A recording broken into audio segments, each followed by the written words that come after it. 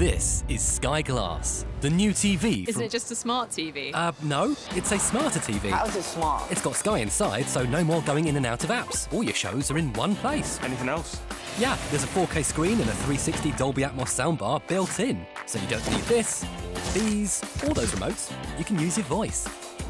Thing is, I can't have a Sky Dish. You don't need one. It all works over Wi-Fi! That's smart. No, it's smarter. Sky Glass. Smarter than a smart TV.